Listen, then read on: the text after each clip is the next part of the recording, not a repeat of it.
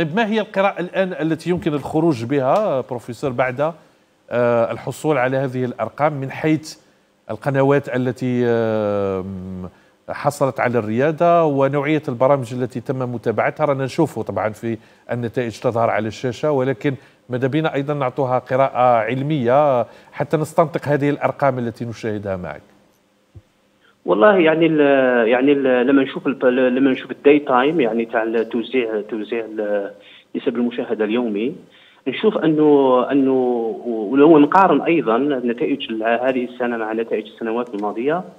على كل حال فيه استقرارية يعني فيما يخص الريادة يعني شروق يعني احتلت الريادة في إن لم نقل سنتين أو ثلاث سنوات الأخيرة. هناك يعني قنوات أخرى يعني تبرز وتتراجع يعني.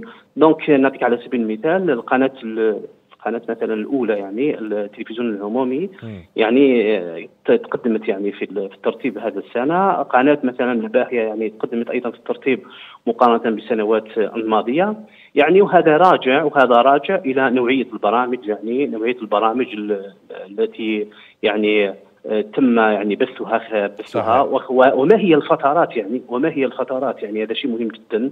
الفترة التي يعني آه، يبث فيها هذا هذا هذا الفترات تحديدا هي ما يصطلح عليه بأوقات الذروة بروفيسور. يعني آه، ممكن آه. القول أنها بعد الإفطار إلى غاية الساعة الحادية عشر هكذا؟ exactement oui donc إحنا ناخذ ناخذ مثلا وقت الذروة اللي يكون فيه مثلا من الإفطار من الساعة 7 مساء إلى الساعة إلى الساعة العاشرة إلى الساعة العاشرة هذه الفترة. وفتره أخرى يعني بعد ال prime time اللي هي من 10 ل 12 تاع الليل ولو نشوف يعني يعني ممكن الأستاذ سفيان ممكن يعطيكم بعض المعلومات الإضافية. صح. على أنه الشروق يعني كان كانت الفترة من 10 ل 12 تاع الليل يعني حازت على نسب كبيرة يعني. في نسب المشاهدة.